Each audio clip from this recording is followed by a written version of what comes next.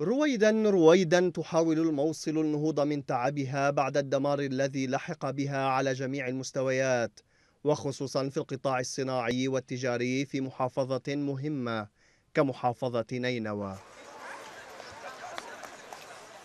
تحت عنوان صناعتنا هويتنا حاول مجموعة من شباب الموصل إعادة الحياة إلى المدينة في مهرجان جمع عشرات الشركات الصناعية والتجارية. فضلا عن العديد من الفعاليات الثقافية والاجتماعية في رسالة مفادها بأن الموصل لن تموت. حقيقة إحنا كل السعداء بالنشاطات والمهرجانات اللي عم بالمدينة.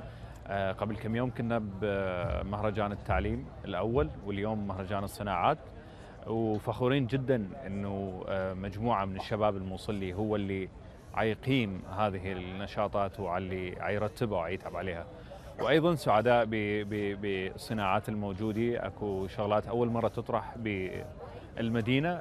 يدعم هذا المهرجان المنتجات مثل الصناعات زيت الزيتون المعامل الملابس المعامل مال الالبان وكثير صناعات إنه موجودة. نتمنى من الدولة مالتنا إنه دعم شوية لل للصناعات اللي عندنا يكون دعم كلش قوي. حتى هاي الشركات تنجح إنه ما تظل. كثير عندنا إحنا بالعراق آه، معامل ومصانع بس ماكو دعم حتى تنجح هاي. هذه الفكرة شجعت العديد من الشركات في الموصل وبقية المحافظات للقدوم والمشاركة بتقديم المنتج العراقي.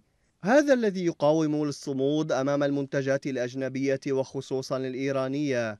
التي غزت أسواق البلاد. تشرفنا والحمد لله بمشاركة هذا المهرجان العظيم في محافظة نينوى.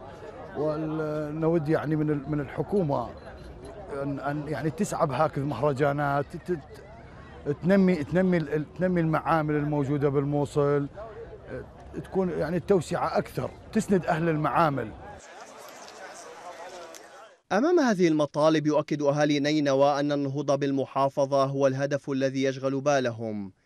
لكن تخلي السلطات الحكومية عن مسؤولياتها بإعادة إعمار المحافظة وبناها التحتية هو المعوق الأساسي الذي يمنع أصحاب الشركات من الاستثمار فيها.